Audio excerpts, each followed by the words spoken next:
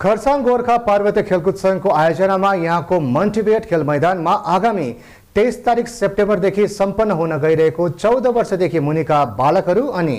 open to all prize money football प्रतियोगितालाई लिएर अहिले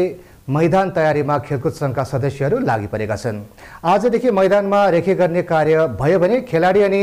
अफिसियलहरूको निम्ति पण्डाल बनाउने कार्य पनि युद्ध स्तरमा भइरहेको जानकारी प्रतियोगिताका संयोजक पूर्वा घिसिङले दिएका छन्। नमस्कार खरसाङ गोर्खा पार्वती खेलकुद सङ्घद्वारा आगामी तेइस सेप्टेम्बरदेखि सम्पन्न हुन गइरहेको open to all prize money football tournament साथै अन्डर फोर्टिन नानीहरूको निम्ति under fourteen league cum knockout football टुर्नामेन्टको निम्ति आज हामी यहाँ मन्टिभिट ग्राउन्डमा पन्डाल निर्माण गर्ने कार्य सम्पन्न भइरहेछ र यस टुर्नामेन्ट आगामी तेइस तारिकदेखि सुरु हुनेछ। र यस टुर्नामेन्टमा ओपन टुवेल्भ प्राइज मनी सिनियरहरूमा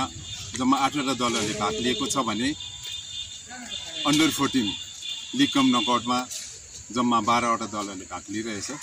र यस गेम नानीहरूको निम्ति अन्डर फोर्टिन शनिबार आइतबार पच्चिस अनि छब्बिस तारिक खेलाइनेछ भने यसको फाइनल खेल आगामी तिन अक्टोबरको दिन सिनियर अनि जुनियरको दु- दुवैवटा खेलको फाइनल खेला सम्पन्न हुनेछ